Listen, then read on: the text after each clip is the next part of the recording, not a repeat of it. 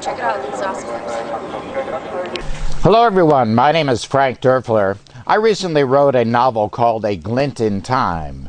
To write A Glint in Time, I did a great deal of research, particularly research into what happened on the morning of 9 11 in the air, uh, in aircraft, and in the air traffic control network of the United States.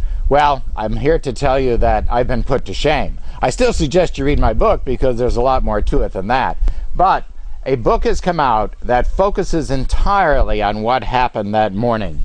The title of the book is Touching History. The author is Lynn Spencer.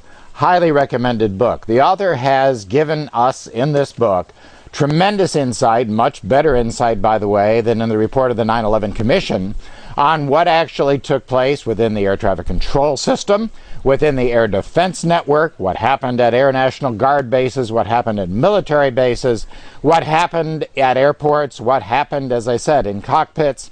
A great deal of narrative, a great deal of understanding and insight.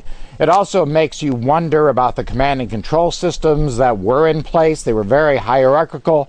They were also people of the same rank talking to one another and sharing their ignorance, not talking to anyone else. And the author points all of this out very well.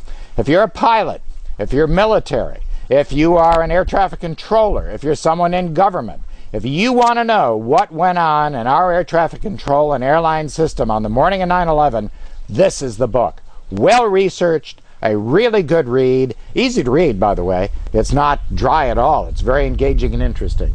Touching History by Lynn Spencer. You should go to greatguybooks.com.